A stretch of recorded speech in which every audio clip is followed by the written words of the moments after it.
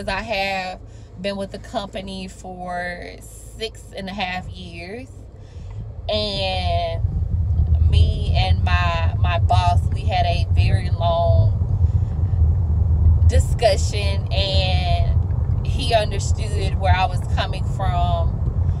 And it was just it was just amazing to just get that off of me. So I'm not gonna upload this video until I actually um, start my new job but yes today is October 4th like I said and today I put in my two week notice and I will probably come back. If not today, I'll probably come back and just do like a sit down um, between now and when I upload this video about the reason the reason why I put in my two week notice today and the steps that I took to make sure that I'm set up for success and not failure and yeah so I am super excited.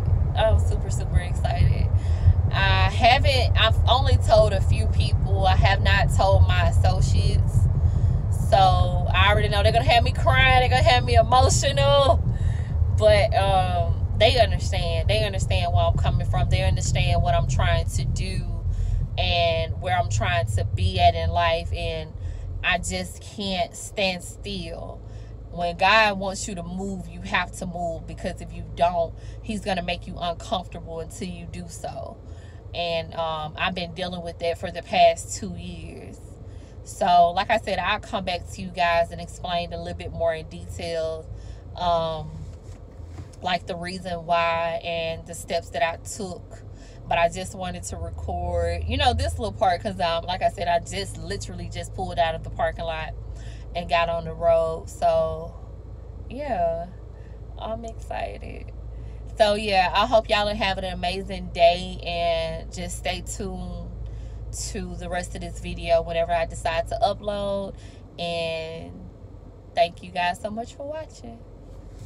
Hello, everyone. I know you're kind of confused by the title of today's video.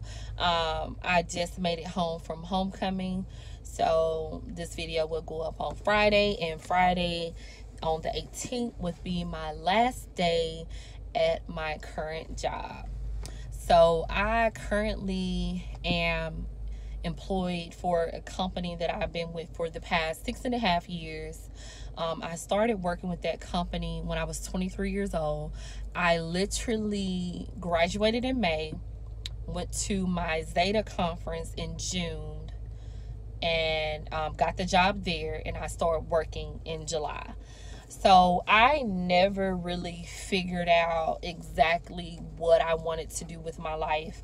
Um, I have a degree in English and a minor in communication, and I just didn't never know what I wanted to do with my life. I, I thought that I had the rest of my life to figure that part out. Um, but yeah, so like I said, I've been working for the company for the past six and a half years. There has literally been a restructure every single year that I have been with that company, and I have seen so many people come and go. It is absolutely ridiculous. Um, even when I transferred to the place that I'm at now, on my first day of work, there was five of us beginning our journey um, into management so we really didn't have anyone that we could like use for an example like we was really just spending for ourselves out there and i should have known that that would have been a red flag but you know me being young and me you know wanting to work because I was good at it. And, you know, I, like I said, I didn't take the time to see exactly what I wanted to do. It was just good money for a 23 year old um, at that particular time. And just as I have been working with that company, like I said, I've seen so many people come and go. I've seen so much happen. And sometimes it's good, and don't get me wrong, and sometimes it is bad. Um, so yeah, for the past two years, I have been so uncomfortable. And I can remember back when I was 23 years old, I said I only wanted to work for this particular company for five years just to get that management experience.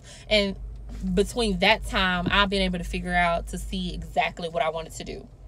So I tell you no lie, the year that my anniversary was finna get ready to be five years, I began to be uncomfortable. And I was like, man, is this amazing? Because whatever you speak out into this world, you know, it's going to come back to you. And when I tell you, God has been shifting me and beating my behind over these last two years because I tried to justify it by, oh, I like the people, so I'm going to continue to stay with the company because I love my associates. I love all 150 plus of those associates. Um, and I didn't want to leave them because I didn't want to be like the other managers, if that makes sense. Oh, I don't want to get teary eyed. so I didn't I didn't want to leave because I didn't want to be like the other people that have came to manage this facility. Um, you know, I wanted to be there for them. And, you know, I'm not trying to toot my own horn or anything. Like, I am a very liked person. I am very liked, and all of my associates come to me with all types of problems, and you know, not just work problems, but life problems, just in general. And you know, to have those relationships that I have had with them over the past six and a half years, it's just been it's been amazing, and I appreciate them being that honest with me and being that open with me. And so it was a place of security. And like I said, the past two and a half years, I have just been so uncomfortable because I feel like, well, I felt like that I was holding back from my purpose. I was, oh, hold on.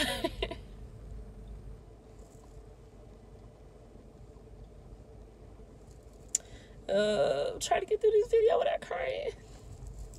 But um i just feel like i was holding back on the purpose that god had set for me.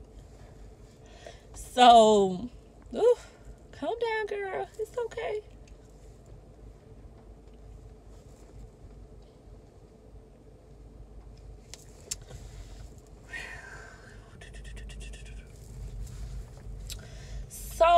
you know i started to do other things. So i started to do like to try to find fulfillment. So i started a youtube channel. Um i started driving for uber and lyft. I started you know traveling seeing friends spending time with family you know trying to keep that void of wanting to leave down as much as possible. Because you know I don't want to, it, it, sounds selfish when I say this, but I was just like, oh, well, I'm making good money. I don't have to live this purposeful life. I just got comfortable. I wanted to just be there and just go to work, go home, go to work, go home. and that wasn't enough for me anymore. So I decided to put my two week notice in. Don't get me wrong, my GM, my current GM, he is amazing. He is absolutely amazing. Me and him, we had a hour long conversation, just about well, hour and a half, just about life in general, and just about where I see myself at and don't get me wrong, he tried to talk. He tried to talk me out of it. Um, and then the next day he came back, still trying to talk me out of it. But I was just like, look, you know, if if if what I have set for myself doesn't work out, um, I'm leaving the right way. So, you know, if I have to return, um, I can because I am leaving the right way. I'm not being fired. I'm not being terminated or anything like that. Um, so I can always come back. So that's what, you know, I keep that in the back of my mind. But the thing is, I don't want to because it's just I'm not gonna get into everything that happens, but it's a lot that goes on in the in the company in general. It's a lot of stuff that I don't agree with. It's a lot of stuff that it's not right. And I have to just take it because at the end of the day it's not my company at the end of the day this is not something that i built for myself so who am i to say what they can and cannot do I'm nobody. And like I tell people, just like in general, I'm not saying this about my, you know, my job or my current job or my past job or whatever. But at the end of the day, the company, the business is going to do what's best for themselves. Because I feel like if I were to drop dead, my position is posted tomorrow. You know what I'm saying? Yes, my associates will be sad, but at the end of the day, the company itself is going to continue to move. Nothing is going to stop because of me. So I took that into consideration. I was just like, I want to build something for myself um eventually and like i am going on to another company um that i will be working on for somebody else but i will be making so much more money than what i'm making now and um I love what my friend girl Jessica what she says she makes her nine to five her side hustle and her side hustle is her job. You know what I'm saying? And so like that's what I'm trying to do. I'm trying to make my nine to five my side hustle and I'm trying to create a business for myself and for my family because I want wealth for my children children's and even though like i don't have kids i'm not in a relationship or anything like that um and that's a whole nother whole nother video. But um i started to think about that. And i was just like you know I, I can live a life of abundance if I'm following God's purpose and not my particular purpose, if that makes sense. I, I can live the life that I am set to live just by stepping outside of the way and letting God lead me.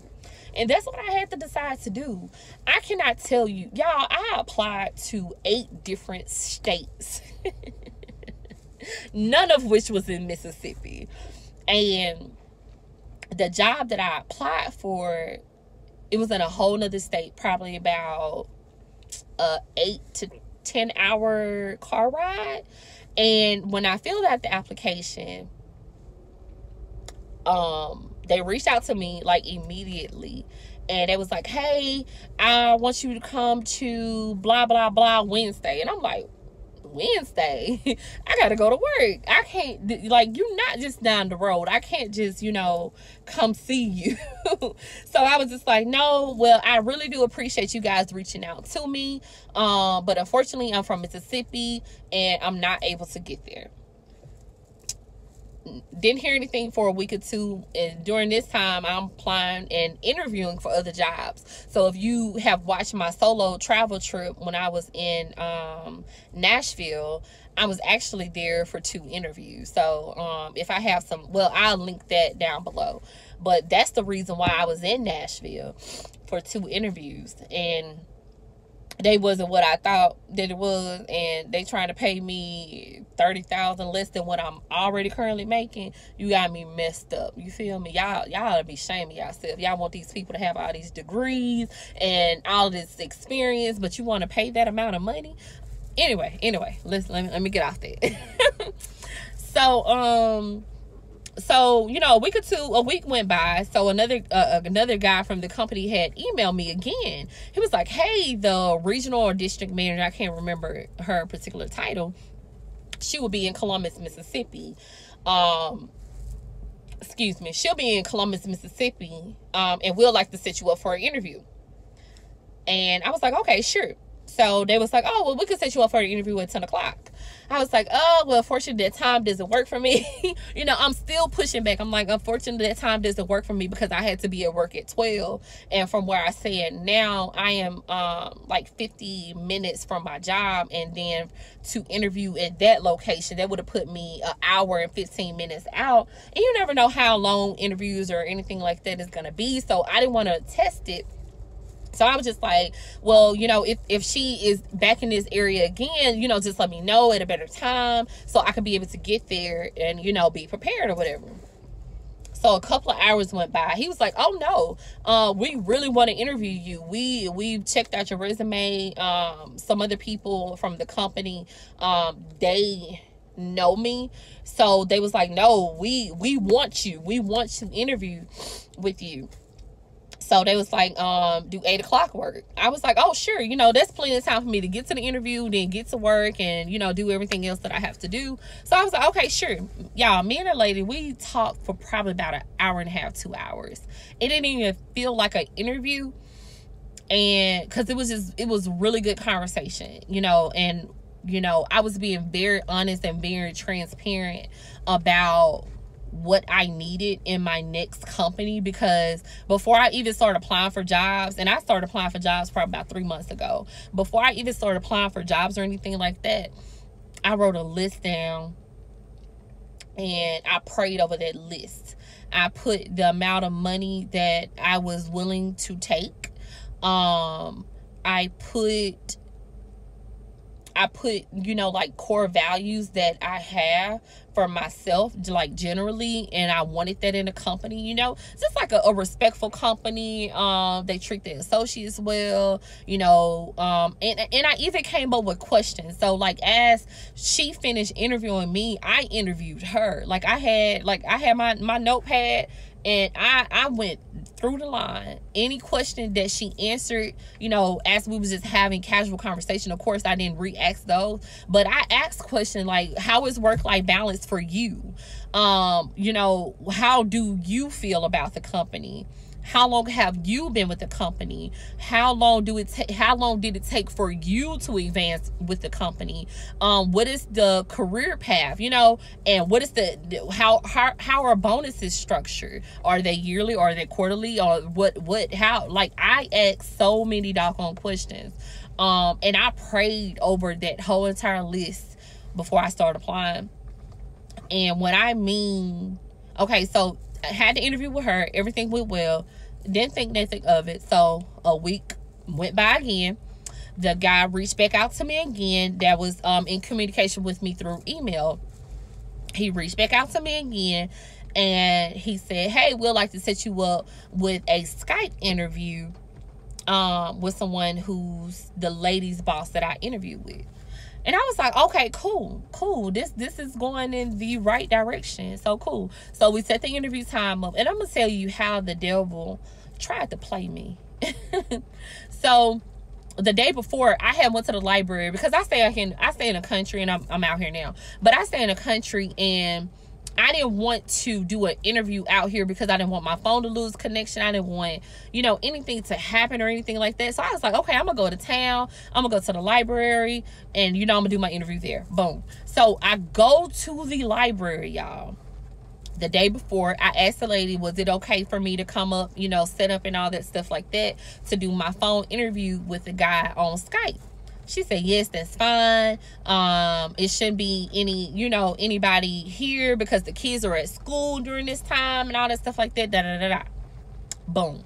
So I leave home an hour before my interview start because I just wanted to get there set up, you know, calm myself down because I be worked up. calm myself down a little bit. Y'all, when I pulled up to the library, how about kids was in there? Like my library, my my interview was at 10 o'clock that morning and kids was in the library. And I'm like, why y'all not at school? so come to find out, you know, the young lady, she didn't know that that that space was already reserved for the next day. So I'm like, oh crap, now I'm panicking. I don't know where I'm gonna do this interview at. So I was like, okay, well, I could go do the interview at, at the park. You know, I'll be outside, ain't gonna be nobody around. The kids are at school, so nobody gonna be at the park. Pull up at the park, oh, this is reserved for 1045. No, 945 because my interview was at 10. This is reserved um at 945 to like 12 o'clock. Ooh. I was like, oh Lord. Now I'm really pushing time. I'm like, I'm gonna have to do my interview just how I'm talking to you guys. I'm like, I'm gonna have to do my interview in the car, and it, to me, that is unprofessional. So I didn't want to do it, but if push came to shove, I would have done it. Um, so I call my homegirl. She's a lawyer. Um, she has her own law firm in West Point. So I call her. Um, well, I know I text her. I was like, "Hey, are you at your office?" So she was in court and she didn't text me to afterwards but which which was fine because i knew she would have just you know be like look you got it go because that's that's my soror uh, but you know i couldn't get a hold of her and so now time is literally dwindling down so i went to a business. I, I did my interview in a business that is downtown. Um, my mother is friends with the lady who works there and she works alone but it is a lot of people that normally go in and out. But i was like i just need to be in a building. I don't want to do this interview in my car. I need to be in a building so i can have this conver- this interview with this man. And you know because i don't want to seem so desperate. I don't want to be like you know i need this job because i don't need anything i don't need nothing but god i, I don't need anything so I went there. I was like, hey, miss, her name. I was like, can I please, please, please do the interview here? I got the interview. At this time, it's like 20 minutes. They're to call me on Skype. I just need to sit here. Can I do the interview? She was like, yeah, that's fine. Y'all, when I tell you not one person came in the building, my mom came and uh, my mom came because she always comes to hang out with her friend girl before she go to the gym. So my mom came and it was like one other guy that was just there and they was just talking. But when I tell you not one customer um, came into that building the whole time I was doing that interview. And me and that guy, we was on Skype for probably like 45 minutes to an hour. I said, this nothing but God. Because when I tell you people go in and out of that building so so much that I thought it was gonna be like a distraction. It was just gonna be very unprofessional um and stuff like that. And I was just like, thank you God. Then nobody came in. So we had the interview and then he told me to um set up well no he said he'll reach back out to me so i could set up for a tour at one of the tupelo locations. So i toured the facility like that that thursday. I think i interviewed on tuesday. I toured the facility that thursday. And come to find out the guy who i toured with he had been 20 years and he had retired. So i was just like oh my god. So now you know oh i said the name of the company. I'm gonna bleep that out. So um so I was like, okay, so he know where I'm coming from when I ask these particular questions. So I was asking him this question, and when I tell you, he was just he was he was very like open and very honest and everything like that. And I was just like, thank God. So I asked him the question. I said, hey, what is the biggest difference between such and such company and this company? And his answer blew me. I'm not going to say what he said because the people that are watching this video that may not know where I'm currently working at, but I mean, if you follow me on social media, you know where I work at. But um the difference that he said is what I have been feeling. And I was just like, oh my god. And like i i mean i got honest like i got open and honest with him as well. Like look i'm trying to get myself out of debt. You know i'm not asking you to tell me how much you make because i don't want to know how much you make. But i just want to know what's the ballpark of because i already knew what i was willing to take the less that i was willing to take. And that's just the the, the least that i was willing to take. Um and it was more than what i what i currently make but anyway um so like you know i was like so how do an advancement work? So he been with this company that i am going to now only for two years two and a half years. And he started off as an operational manager which is the position that i am going into. And he is now a general manager. So you know, I did my own research, so I'm already knowing the ballpark just based off conversations that I'm having and things that I know that they're saying that there are bonuses and stuff like that. And let, let me just say this I'm not going to another company because of money. I'm going to another co- company because I am doing a lot of things, and this is one of the things that I'm doing to better myself this just so happened to be more money. And I don't feel like I have to take a step down in pay to get to where I need to be. I don't believe in that. Like people say, "Oh, well, I have my own business, but you making less money than what you currently was making." Like I believe in doing things at the same time or building up to that. Like if you take a step down, you need to be back up to where you are at least a year. If you out there on your own and you're doing your own thing. I don't feel like I have to take a let me let me let me say it this way. I don't feel like I have to take a step down to be happy at another company as far as financial. I I am getting myself out of debt.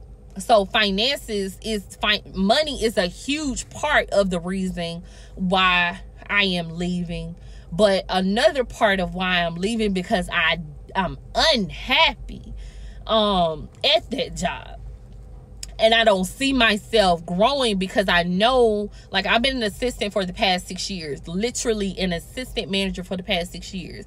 And that's not to say that people have not talked to me about, you know, general manager or club managers or whatever other positions. Like, I have had different offers within my company, but it's something that I never wanted to do because I see how people are treated and I didn't want to be a part of that. I'm not going to be victimized, uh, be a victim to that. So I stayed right where I was at because that's where I was good at. I was amazing at. I'm still amazing at it. but you know, I I didn't I, I was scared to go up to make more money because when you get up, boy, y'all work for the company you, you you know how it is so i was afraid to go up so literally i have been the same for the past six and a half years and it get boring it does. It gets so boring doing the same thing every day, expecting the same thing every single day. It is boring and I'm not fulfilled. But anyway, um so after like had that conversation and had that tour with that guy, I was just like, "Oh my god, you know, this is everything that I had thought of." So and wanted and prayed about. So I left there um I left there and I went to the movies with one of my friend girls and we went to see Hustler. And um when I got home at like three o'clock, look at my brother. When I got home like at three o'clock, three forty five or something around that area, they had hold on. Hey, come get my suitcase out the car. Please. What's up, Brandon? Nah. I'm finna come out but um i'm sorry. So um like when i had made it home from the movies and stuff like that i had real i did check my email. Y'all i left the tour at like 11:45 at 12:05 i had a job offer in my email that exceeded my own expectation. And i'm just like Really? Really? So my brother figured it could have my cock in my suitcase. Hold on. He he a mess. Look, I'm say y'all hold on like y'all here. Hi, brother. Uh.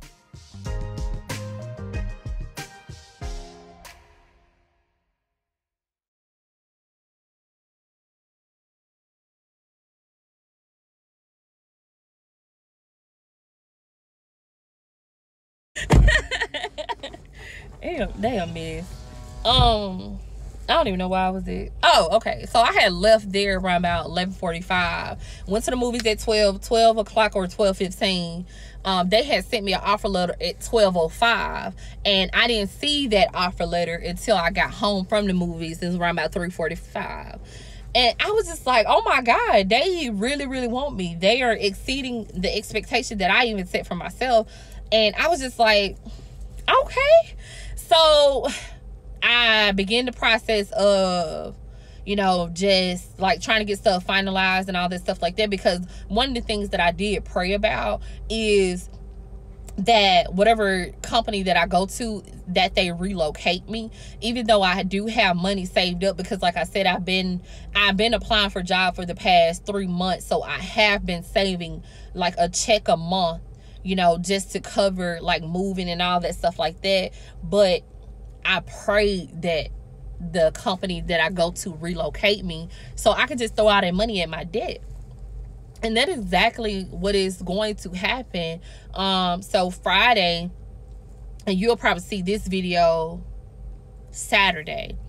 But Friday on my way to Hattiesburg, I actually stopped in that location in which I was going to be at. You know, walked around into the place, the company that I was going to be at. No one knew who I was. And I just wanted to see the feel of it and it was it was a phenomenal feeling feeling. And yes i was nervous and yes i was very very hesitant to even walk into this company. I'm like somebody didn't google me because you can google my name and i'm, I'm gonna pop up because i post a lot of pictures for one and i do a lot of things for you know for two. So i was just like man some, somebody gonna know who i was. And nobody knew who i was. And so that made my experience even much better um, because when I walked into the company, the first thing that I noticed is they spoke to me. And this person don't know who I am and they spoke to me. And I was like, okay, good. Because you know how you can go into a company and you you um you work there. Everybody they're gonna treat you differently because they know who you are. And they're they're gonna not to say that they're putting on a show but they're putting on a show because i can even think back to some of the times that like with previous managers that I've had at the company that I'm at now, boy, when home office come down, oh hey Sheree, how you doing? How's everybody doing? They they all happy. It's a whole nother thing. So um so I was just like, you know, I wanted to see how it was before I actually got there because I, I start work on Monday. My last day is Friday, which you're watching this video today. I begin work Monday. Um, so when I went to um, the store, I then went around and started to do some apartment hunting. And um, I did a couple of clips of some apartments and stuff like the inside of it that I'm thinking about considering um, moving into. And the company is going to put me up, you know, in a hotel room and all that until I find a place. But anyway, um, so all of that happens and the communication with this new company has been amazing. I have been emotional ever since I put in my notice. Um, when me and my general manager were having our um conversation y'all we both cried because we like i said it wasn't a conversation more so on oh Charmagne, you should stay da da da da da it was a conversation it was a conversation on life and what i'm trying to do with my life and he he understood that because a lot of decisions that he has made have been for financial for his family. And he's well off but you know it's it's you take care of your family. And even though i don't have a family currently i know that i will have one. And i'm i'm preparing myself for my future husband. I am preparing myself for my future kids. So this is building me. And it's gonna it's going to be an amazing journey and if it don't work out y'all i'm okay i got a lot of talent. I could do a lot of different things. And if it don't work out which i know that it will work out but there's always other jobs out there available. So this right now i'm already at like 30 minutes of talking. Um so i'm gonna end this video here but i, I just want to say like don't ever be comfortable and miss out on your purpose, miss out on the things that you're supposed to have in life just because you're comfortable and you don't want to move. Because if you pray about movement, trust me, God gonna come in and shake your house upside down because that's exactly what he did to me. He shook it. he, he, he, he shook it and threw me down the hill somewhere, threw my whole house down the hill because it was just so much that was going on. It was so much, so many emotions that I was feeling, so much drama that was happening, so much stuff from my past trying to come back. And I'm just like, I don't, I don't need this. So don't stay comfortable. Go for whatever in life that you want. Because at the end of the day, nobody's going to take care of you like you take care of you not these jobs, not your family, not your friends, not anybody. So if you think that you owe loyalty to anybody, especially a company, don't. I, I put my time in and I'm over it. Over it. And I'm I'm not. But I love the people that I work with and I will continue to cherish them. So if you guys are watching this video, y'all, I love y'all. Y'all, the, y'all the only reason why I'm still there. Cause I love y'all so, so much. And I appreciate y'all. All the conversations. Oh, I don't want to cry no more. All the conversations that I've had with y'all have been amazing.